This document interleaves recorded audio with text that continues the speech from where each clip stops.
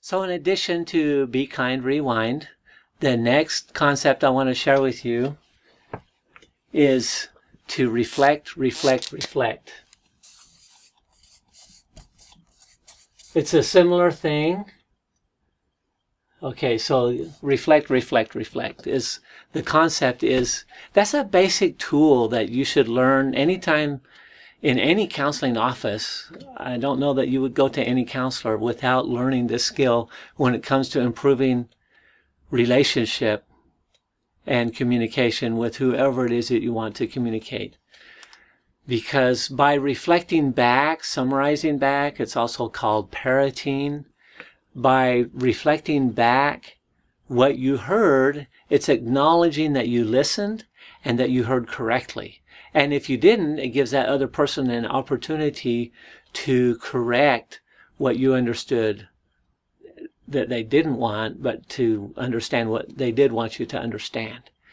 It's a very powerful, a simple, powerful tool. Uh, and by verbally reflecting, it can be very powerful. Often we get talking, talking, talking, talking back and forth, and we get in argument.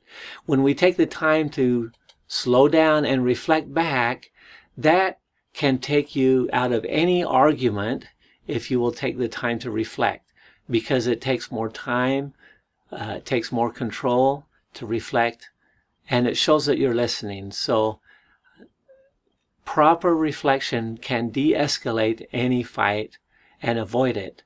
And I, I have to say that in the majority of counseling that I've done with couples, that one tool of just taking the time to reflect makes a big difference. It reduces the fights by over half.